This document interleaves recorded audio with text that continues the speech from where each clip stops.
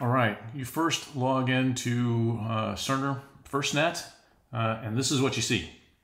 Uh, and so what are you looking at? Well, it always starts you off in the message center. So if there are orders you haven't signed or some kind of charts incomplete, you're going to get a message here.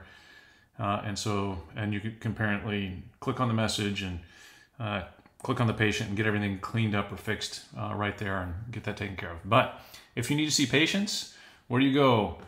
You go to Launch Point. It's this little button right here in this uh, ribbon at the top, ED Launch Point. Click that. That will bring up the list of all the patients in the emergency department.